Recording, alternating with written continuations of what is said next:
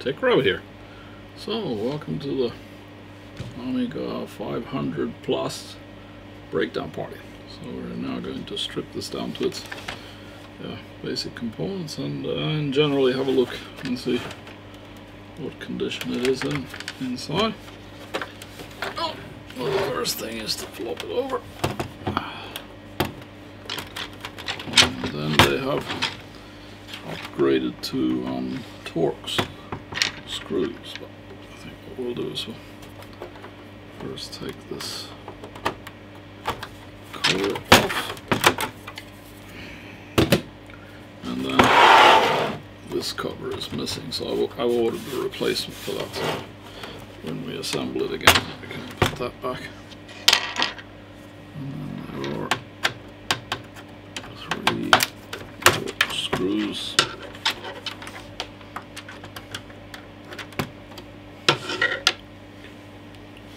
And it's always good to have a platform to keep the screws on. And there's a magnetic plate, so the screws won't go flying off anywhere. And as you see, this is unique. It actually has the original seal. And, um, so, yeah, theoretically speaking, this hasn't been opened before.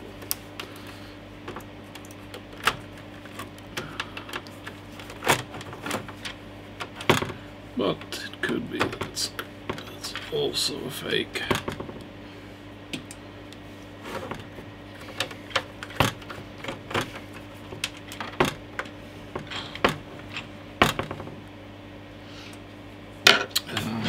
When I purchased this, I purchased it untested without accessories. So, uh, I do not intend to start it until it's all cleaned up at least visual inspection done on the main parts. And then we have three more screws here, and three in the front, and three in the back.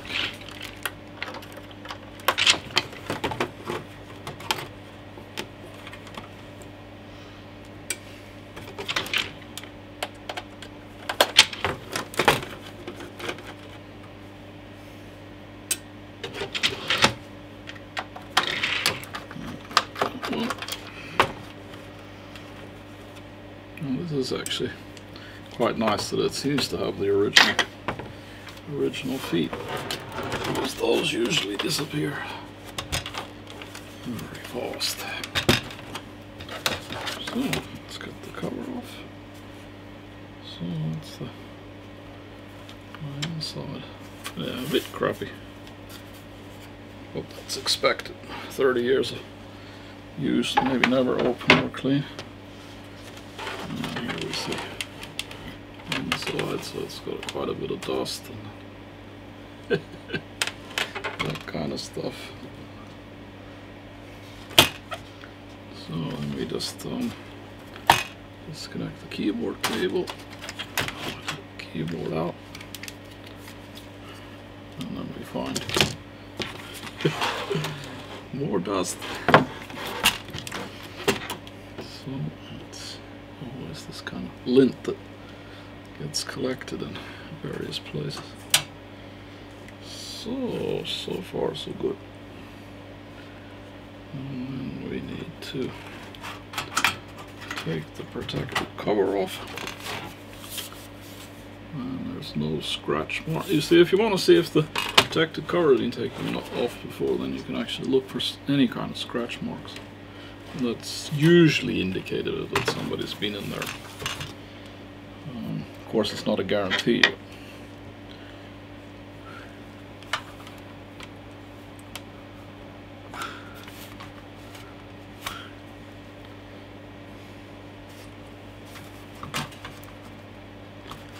I think I might refurbish the uh, the tin.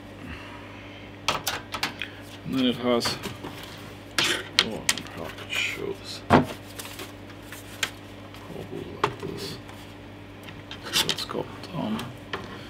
one screw there, one screw there, and then this, I think, the,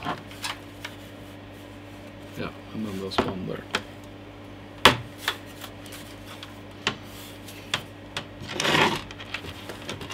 Oh, you could. See the dust. Maybe I should be wearing gloves. Hmm. Okay, so are those Torx or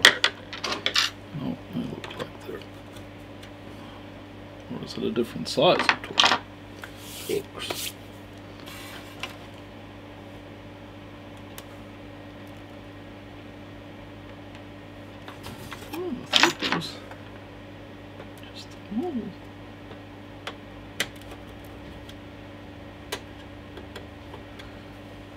No, I think that's actually a different size of Torx.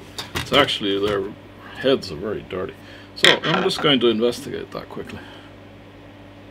Be the same size of Torx as we've been using, but the the head is so it's corroded and dirty. So I actually had to work on cleaning these two up a bit. But, um,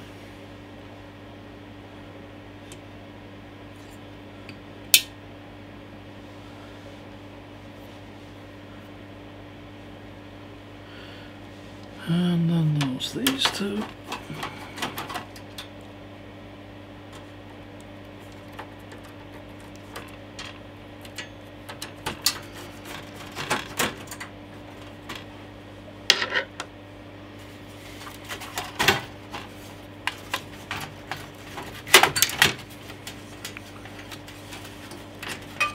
Oops, so I missed one. One little tab. Oh, okay. Well, that's that's not in that bad shape. But uh, and that might be old. dirt. I think that's a bit of rust, so I think I might actually give this a, a recondition paint. Let's try retrieve the screws. That's one. Uh, Where did the other one go?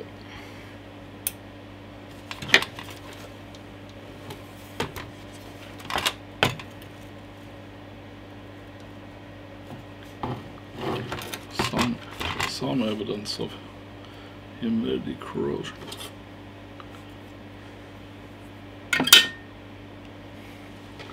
Bit of left in this. No. Oh, but I have three screws. One, two. No, there should be four. So where did the screw go?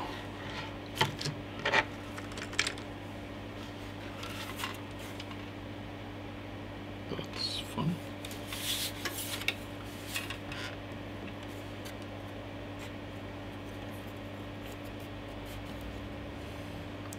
Yeah, so a lot of lint in here. So very good stuff. Ah, found it. Rolled underneath the board. Ooh. So, so far so good. And we need to take the drive out. And just um,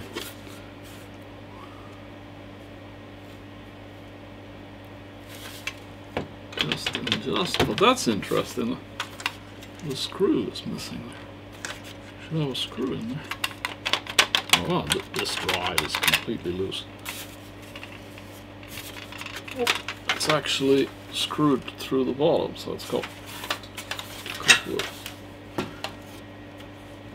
Well, actually, this it has no screws. Okay, so what's the oh? Screw.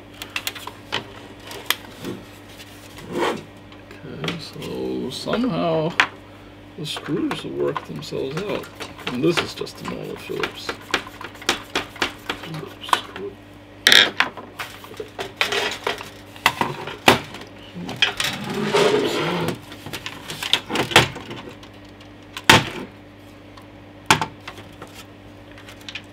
Uh, okay, that's a different. Now somebody's been playing. Not sure. Uh, it's either. No, that's probably original. That- It's kind of like a screw post, like uh, with a motherboard spacer. Yeah, let's get this one disconnected and lift that out. And then there's just some crappy tape on the sides. We just take that off. So. and then we can, um,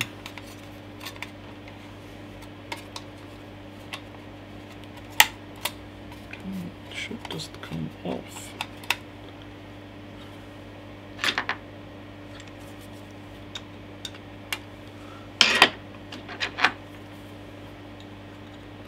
There. Well, it's not looking that dirty, but I'm going to um, blow it out anyway. Carefully. But it doesn't look that dirty. Aha! Here we have something that needs urgent attention. Better now than never, and that's this is the Amiga 500 Plus, so it actually has a battery. Really need to get that off and out. See if it's corroding already. This is a newer machine, so uh, doesn't look that. It's not exploded. It's not being dumping um, acid on the on the board. But I'm going to take that out and put a new one in. It's a re rechargeable um, 3.6 volt battery. You can you can get them relatively cheap. Oh, there is some corrosion. Oh, damn it, uh, yuck. I think there's been some leakage, or it's just general humidity. Let's hope that all cleans up. You see all the all the signs of corrosion. There's there are some Amiga 500s where the multi-layer structure of the board has gotten destroyed. So, but it, it doesn't look like it could be that it's just the humidity because, yeah. But anyway. So now I'm just going to I think we can now just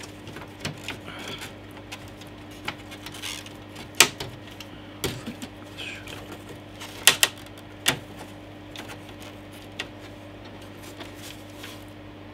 Ah, there's a tab. That didn't exist then. Amiga 500. Standard classic. Let's see now though they changed this mechanism. And That's of free. Should back out. Okay, that's still holding it.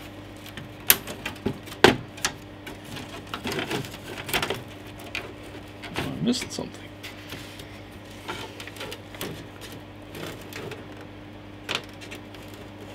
I can't see.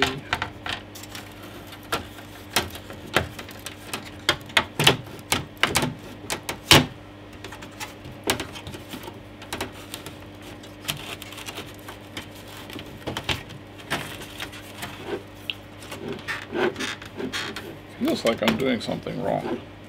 What?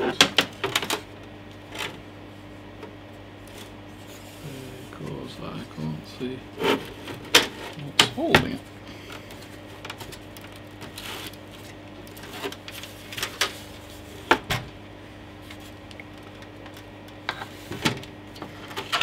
Or is it just it's just the just the plate that got on the edge on on this tab. Okay, so uh, it's been. You can see that it's been having some humidity damage. So so now we got this out. Uh, it's not nice with so much corrosion. We'll see how it cleans up. If I can get rid of all that corrosion. And that it hasn't damaged anything, because of course the key issue is that it hasn't destroyed any conductive traces or interesting. So um, we just now then this is connected to the to this tin. It's actually only connected with those two but I usually I screw out all of them. And then I put some grease on them just to make sure they're all free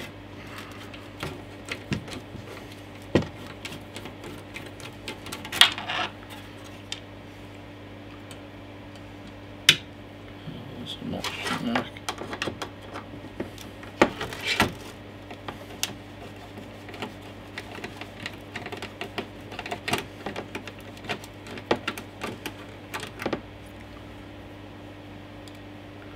So that's that out, and then you can lift the circuit board out. Changed the design? No, look. Ha. least they've changed it. So actually in the Amiga 500 Plus, or at least on this version, every one of those screw- screws needs to be disconnected.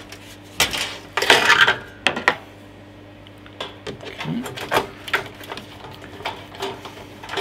But it's actually quite short work with that socket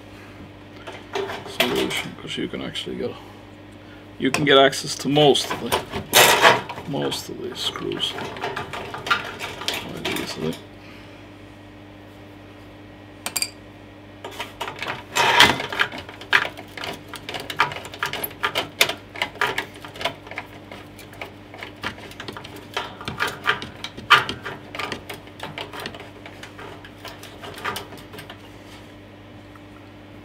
And if there are traces that have trashed things.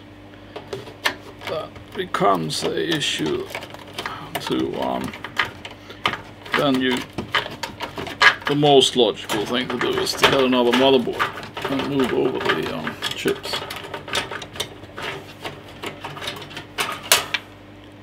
But we'll see how far we get. If it cleans up, fine. And I um, put a new battery in it. Then it will of course be okay. But it's good to get underneath to um, see how bad the circuit board, uh, how, what the condition of the circuit board is underneath.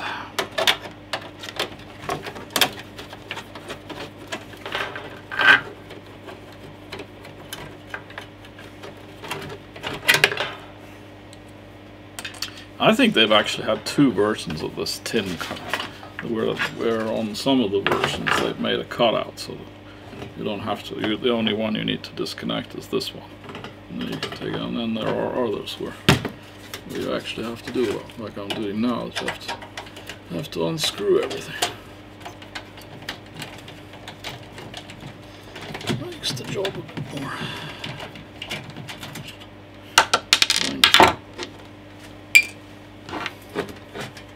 Ugh. Table's really getting dirty.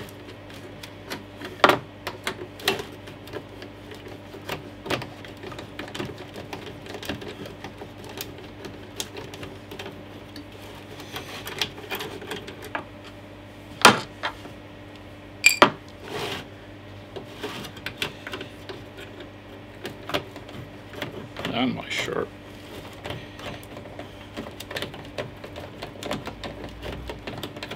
Who said retro computing was clean work? so, now, we should be able to, yep, take that out. And then we see that it's got this plastic insulation protection. And I don't see any major corrosion damage on that one at least. And Surprise, surprise, what does this look like? Let's see. Quick overview. I can't see any rework, so nobody's been soldering here. I can't see any evidence of the corrosion that's on the other side. Here we have some discoloration. I'm actually more and more convinced that that might be external humidity that's been causing issues. But as I said, that it's um, get rid of that, um, and then um, total cleanup, and then um, yeah. Whoa, what's that? That's interesting. I think they might have had different ROM chip sizes because this here, as you see, it's not even the length of the of the socket. It's missing one le level of pins, but I think they had a, on the on the 500 plus they had something weird that you could have a higher capacity ROM.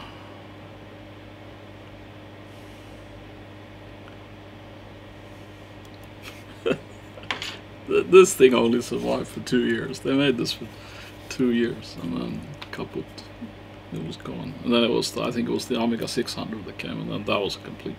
Ah, and then it was the end of Commodore. So, uh,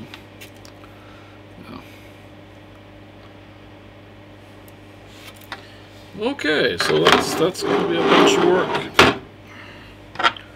And then we have the keyboard As we've already seen that has quite a bit. So I'm actually going, what I'm going to do is I'm going to um,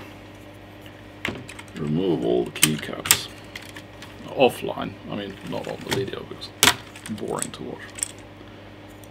So I'm going to take all the, remove all the keycaps and the related springs. And then I, as you see, there's lots of dust in there. And then I'm going to uh, take away the controller and then open the back panel and then clean the um, membrane lightly and carefully. So that will be, if you want to see how I did the, the whole keyboard re, re restoration, then you can watch my video series on the Amiga, on the classic Amiga 500 because there I actually filmed in, in detail how I went through cleaning up all this stuff. And that that's actually are related to other other component cleaning up also. But um, for the Amiga 500 Plus then I think we um, the next time you see me on this it'll be the um, yeah it'll be testing and then um, probably make uh, a reassembly video I think that will be but of course, you know, put in the comments if you would like to see something specific. Other than, other than that, Ugh, dust. So, anyway, that's enough for this video. I think so now you told seeing how you break down an Amiga 500 Plus. Also first time for me. And um, as I said, the next time we'll be trying to see if it actually actually works after it's cleaned up. So if you don't want to miss that, then hit the bell. Um, consider subscribing. If you want to finance this kind of stuff, then feel free to buy me a cup of coffee. There's a Patreon also. And um, yeah, going to try and prevent the um, spread of e-waste. So, and I mean, these ba Oh, it's so sad. All these kind of rechargeable small batteries, they, have been the death of so much electronics, and not only computers, but it's absolutely... But now the more when you're looking at more modern stuff, then if they need something like a battery like that, it's not a battery anymore. It, quite a lot of equipment is moving to supercapacitors, so then they don't have this electrolyte crapping issue. So that's actually uh, good, good moving in um, in the right direction. I mean, if you look at the corrosion, you got it here and here. There's a, there's more here, and then it's on the co contact there. But I, I, when I look at the battery, I can't see that the battery's been leaking, and it definitely hasn't been changed. Maybe it has been secretly leaking. Oh well, I'm going to remove it anyway, so it doesn't matter. Okay, I'll um, see you in the next one then.